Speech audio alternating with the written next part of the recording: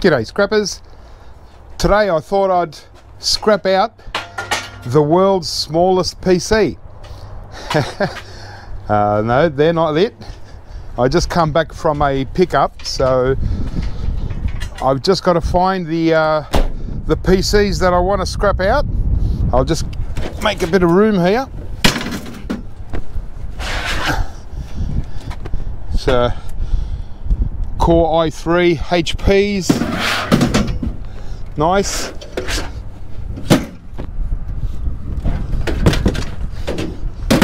Uh, quite a lot. Asus, Asus, there they are. oh, you should see this box. What a nightmare this box is. I'll just uh, get out all one trolley full.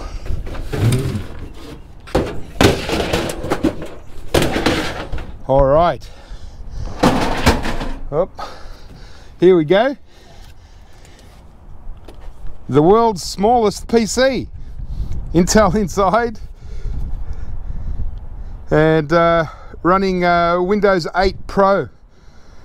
So the it's the Intel NUC or NUC um, so that's what they're kind of known as, the little nucks.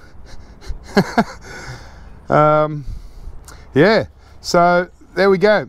So I'm going to scrap one out and see what the world's smallest PC looks like. So we've got everything here.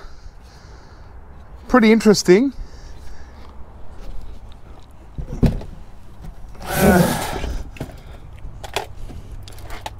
I got four of them. So we'll uh, we'll take them in. And uh, yeah I'm going to keep three of them and just scrap one out just to uh, sacrifice one just to have a look what it's all about. And you know technically they're probably not the world's smallest PC because uh, the world's smallest PC apparently or computer is the size of a grain of rice. So but I think this is the world's smallest practical PC that you can yeah you could buy. Maybe they've made a little bit smaller since. I doubt it. Um, yeah this box what a nightmare. Check this out. It's all hard drives that have been um, opened up so they can destroy the platters.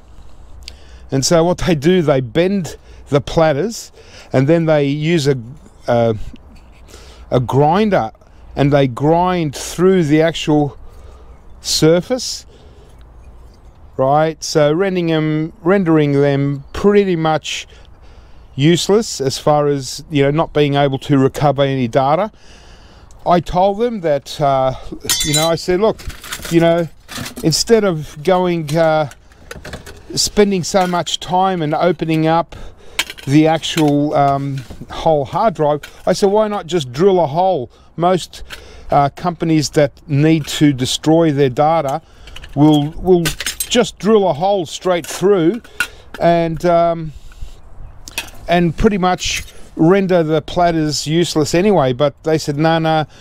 Um, according to their um, regulations, they have to actually open them up and physically destroy every single platter. So, oh well, I guess I don't normally scrap out uh, these new style hard drives because the circuit boards don't have much gold recovery anymore. So, um, but since they've already gone to the trouble, um, you know, there's really not much gold recovery here, and I've still got to do a bit of work to uh, get out um, a bit of this stuff, the magnet, and take off the board in order to turn this into cast aluminium. So I'm not really making much more money, um, but the probably the only good thing is it saves me doing it. Um, I'm starting to run out of uh, hard drive magnets because um, uh, I always leave them on the bench and then they stick to the bottom of a PC or something steel and then I end up throwing away into scrap steel. So um, at least uh, I'm, I'm going to build up a new collection of uh, hard drive magnets even though these modern ones they're only a very small one but they're nice and lightweight and easy to carry around. Uh, so there is uh, absolute stack of them you know uh, probably 150 of them in here so a lot of work fiddly little work that I didn't really want to do, but at least, you know, I'm going to get cast aluminium. I will get these circuit boards, even though they're, I'm just going to sell them as mid-grade boards. Um, can get a little bit of copper, can get these little readers out, um, iron alley, or with the copper on, can throw them in as motors, transformers, sort of like copper bearing stuff. And the other thing that I noticed a lot of, which is a, a real shame, are these really nice well he's uh, yeah they're mostly two gigabyte ram sticks but what they've done is that they've they've broken them every one in half you know and ram doesn't hold memory um, as soon as you turn off the pc it uh, removes its memory so it's a real shame that uh, uh, yeah all the ram sticks there's quite a few, probably 50 ram sticks in here, and they've all been split. Just they've just cracked them in half. Um, still okay, fine for gold recovery, but you know some of them might have been reusable. Being two gigabyte sticks, they were, you know, I can sell two gigabyte RAM sticks, um, get some value out of them. Not much, but a little bit. But anyway, that's my problem to deal with some UPSs, a lot of PCs, only one printer, which is uh, a good balance. Um, you know, probably uh, 30, 30 odd PCs to one printer. That's really good. Hard drives, well, I'll deal with them another time. I'll just do them slowly as I've got uh, spare few minutes every now and then. But for now, I want to take these in and uh, scrap one of these world's smallest computer. so let's go and uh, get this job done. I, I wasn't going to do a video today, but I thought, well, since I've just come back from this pickup and I've got these interesting little PCs, thought I'd give them a go. And uh, yeah, I want to keep uh, three of them. I just put them in my collection for, uh, you know, just for uh, interest sake. Um, and yeah, scrap one out.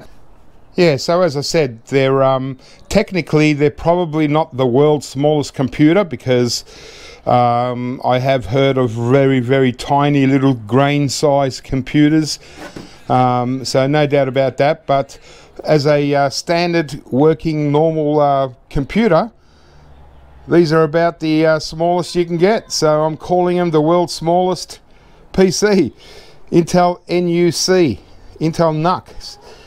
Um, all right. Well, I dare say it's not going to take very long. Looks like we've got four screws.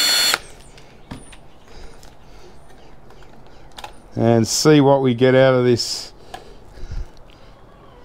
little bugger.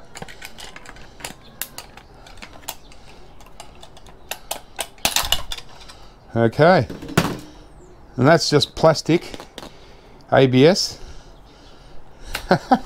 All right, well there we go. We've got a little uh, hard drive in here, and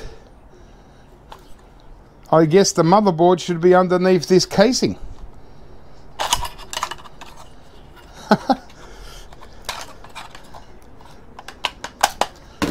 well, there we go. Just a uh, little hard drive, nothing spectacular.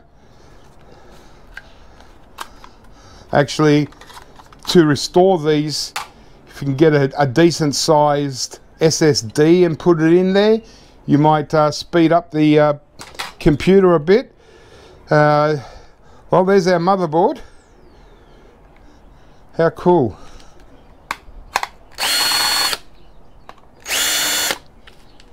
Couple of screws.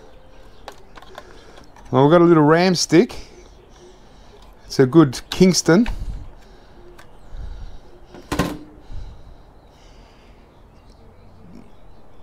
I can't tell what size it is. It doesn't.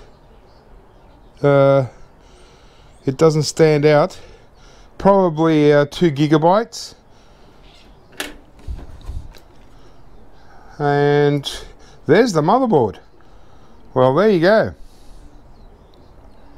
Now, how do I get it out? Just pop it out, I suppose. there we go. oh, there we go. Just a bit of steel and uh, plastic on the side. That's it. And here we go. Here's the motherboard. Looks like a little uh, uh, network card. Tiny. And yeah, it's got a little uh, tantalum and some nice little MLCCs. Another tanty. And this must be where the CPU is and I'm pretty sure this CPU will be a onboard CPU so uh, like a BGA mounted onto the actual circuit board I'm assuming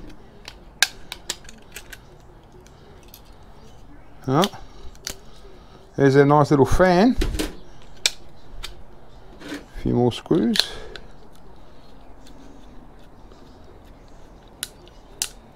Oh, this is the easiest computer scrap out I've ever done. Hold it in one hand and unscrew it with the other. Pretty awesome. But yeah, very cute little thing. And uh, I thought since I picked them up, I, I, I might as well show you. So that's just the heatsink.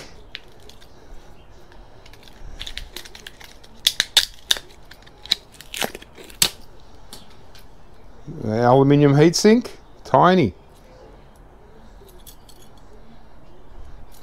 And that's the fan. Awesome. Cute little things. There's the battery. Just stuck on. that's cool. And there's the CPU. And um, it's a quite a modern looking BGA with the silicon top. So as far as uh, gold recovery, there's really not much value here. Just simply with the uh, silicon top here. So yeah, some uh, more tantalum capacitors and you know nice little MLCCs scattered around. Tiny little crystal oscillator, a couple of them. But there we go. There, that's the motherboard. How's that? It's got everything you pretty much need. So you, you know, obviously we need the the RAM slot. So I'm assuming this would be about a two gigabyte RAM stick. It just doesn't say it, or I can't see it. It might only be one gigabyte there you go one or two gigabyte RAM and the motherboard isn't much bigger than the actual RAM stick that's funny as it's got all the little ports everything you need another one around here another USB 3 I think. Wow. And there's the CPU so it's on board so but technically you can still sell this as a motherboard. If if you got a lot of them and you were just scrapping them out as motherboards it's still a little motherboard. It's got pretty much everything um, you'd expect. Not much as far as gold recovery. That's for sure probably uh, you know like this is worth virtually nothing as a scrap motherboard but you know obviously I only scrapped this one out just to uh, have a look you know I get them for free so why not sacrifice one Uh, at least I got a, you know, if it's uh, if it's only one gigabyte, it's no good to me. But if it's two gigabyte, I can get a few dollars for it. Otherwise, gold recovery. And that's really the only value out of it, aside from a little hard drive. Nice little uh, hard drive caddy here. And that's it.